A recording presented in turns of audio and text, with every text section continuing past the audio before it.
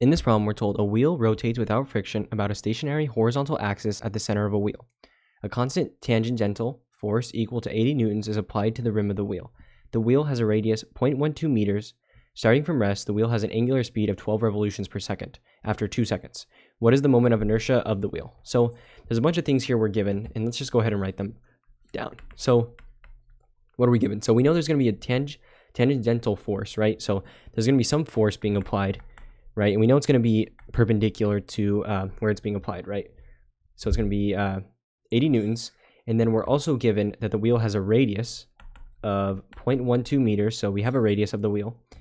And we know it's going to start from rest, right? So the initial angular velocity is going to be 0 radians per second, right? Because they tell us it's starting from rest. And it's going to have an angular speed of 12 revolutions per second, right? So 12 revolutions per second after time of two seconds. So we're given a bunch of things here, uh, and let's go ahead and talk about how we're going to solve this. So we're trying to find moment of inertia, right? So we're trying to solve for I, inertia. So I'm just going to say I equals question mark. So how do we want to find this? So the way I think about doing this, right? So there's a bunch of formulas, but the formula we're going to use is this one right here, which is that torque equals I alpha. And I'll tell you why or what makes me think we want to use this. So, right, we're trying to solve for inertia, right? And so keep in mind what we're given. We're given a force, we're given a radius right? And when you're given a force, generally they want you to calculate torque. And so we can calculate torque with force and radius, meaning we have the torque part.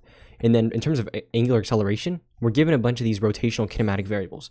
And with these, uh, what I recognize is that we should be able to solve for alpha, meaning if we have alpha and we have t, we can solve for i, right? Because if we just divide both sides by alpha, you're going to get that I is equal to the torque, or the sum of the torque, right? But there's only one torque being applied, so it's just the one torque over the alpha. And so what I just told you is we can just solve for both of these using the stuff we're given. So that's how I recognize this is what we want to do. So let's just go ahead and start. So let's start with the torque. So what is torque? Torque equals r, or radius multiplied by the force times the sine of theta, right? And so theta, essentially it's the angle between uh, where the radius is and uh, the the force, right? So we have a wheel like this, right? Here's our wheel. Imagine it's a circle, right?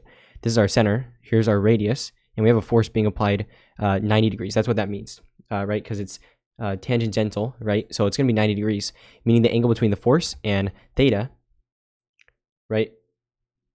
Yeah, so uh, this essentially is going to be 90 degrees because this is the radius and this is the force. So the angle between them is 90 degrees. And so what you should know is the sine of 90 is just 1, right? So it's really just going to be the radius times the force because if you have a force that's perpendicular, all you have to do is multiply by the radius, right? And I just showed you why. So we can just do the torque equals the radius, and we need this to be in uh, meters, which it is, right? It's given uh, 0.12 meters. And then we want to multiply that by uh, the force, and we need this in newtons, and we're given to it, uh, given to us in newtons. So it's just 80 newtons. So you just want to do 0.12 times 80. So let's just do that. So 0.12 multiply that by 80. 9.6. So 9.6, and then torque is going to be newton meters, right? So 9.6 newton meters. Now we have the torque. So we have torque, we need to solve for alpha. Right, so how do we want to solve for alpha? We want to use it or solve for it using the rotational kinematic variables, right? So we're given omega 0, omega, and t. And so the equation that pops out in my head is uh, omega equals omega 0 plus a times t, right?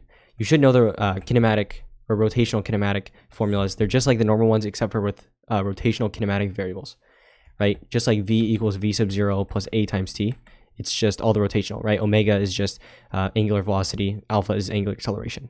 So it's just the same. So we just got to plug it in, right? We can solve for alpha. So omega, which is 12 revolutions per second, but we got to change that uh, in a second. But we can solve for alpha, right? So let's go ahead and make sure the units are right. So t is going to be in seconds. This is in radians per second. I always write it in radians per second. And the reason that is, is because, all right, it's zero, but we want to make sure this is in radians per second too. And it's just a quick check. So uh, we need this to be in radians per second or else we can't solve, right? So we need to convert radians into radians. So we know that one revolution is equal to two pi radians. That's a unit, or that's a, um, right, a conversion you should know. And so essentially two pi radians is one rev. So we can just multiply by two pi, the revolutions cancel, and we'll have radians per second. So this is just going to be 2 times 12 is 24. So it's just 24 pi uh, radians per second. So now we've got it in the correct units, right? So now it's in this, and we can plug it in. So it's just going to be uh, omega, which is 24 pi, equals omega 0, which is just 0, so we can ignore it, plus alpha, which we don't know, multiplied by t. and this is after two seconds. So uh, we have two, so we can just divide by two to solve for alpha. So it's just going to be 12 pi. Right, so 12 pi equals alpha. So, uh, right, and keep in mind the units, it's going to be, let me just rewrite it this way. So alpha equals 12 pi, and then the units are radians per second squared. So yeah, so now we've got it. Uh, what we want to do now is since we have alpha, right, we have the torque, we can solve for the inertia. So uh, we just got to plug it in now. So the torque we calculated was 9.6 newton meters.